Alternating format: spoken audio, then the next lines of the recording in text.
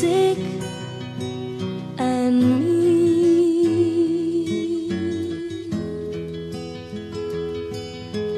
Don't care whether all our songs rhyme. Now music. music